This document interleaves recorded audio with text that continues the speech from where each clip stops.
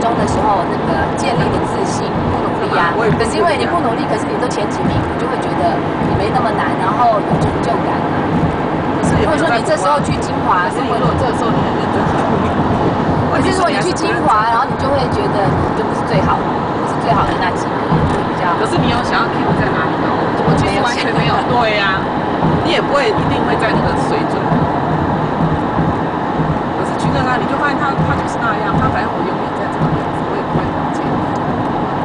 我也不会说我们班很笨，我就在前面；我也不会我们班很好，我在后面。反正就是全班的第三个，对，第三个到第五个之间，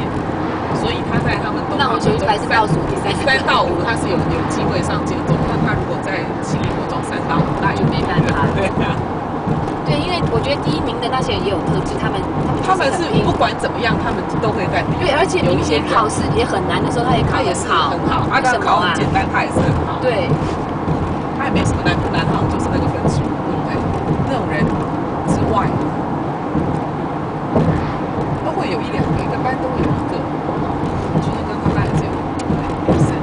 啊，去江班也是有个女生也是姓江，我就奇怪第一名怎么都姓江江？义旭、江平，江艺旭是保持第一名的，他是全校好前几